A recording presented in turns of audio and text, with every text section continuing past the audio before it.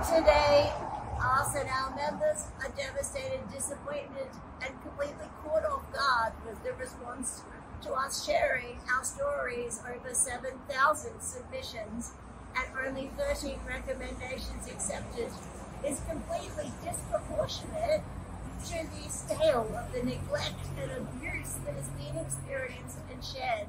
And we didn't relive that trauma and violence for our good, our benefit. We wanted to see meaningful change, and there isn't a clear time frame for that happening to re- really make sure that this doesn't happen again.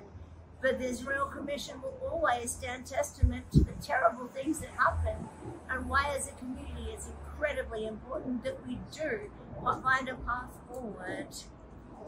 Our stories have filled three volumes of this report, and we do welcome the $117 million commitment. There's not going to be enough to make the difference that's needed to recognise the vision that was shared through the Royal Commission of a fully equitable and inclusive Australia.